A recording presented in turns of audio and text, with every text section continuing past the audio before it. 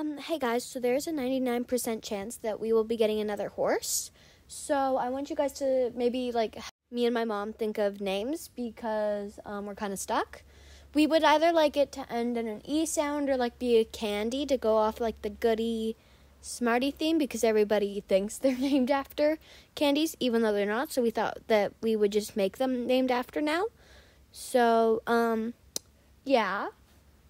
So I would really appreciate if you guys could think of it. Some names were already like coming up like turtle or toffee. So um can you co- guys comment down below and let me know what you think. Love you guys.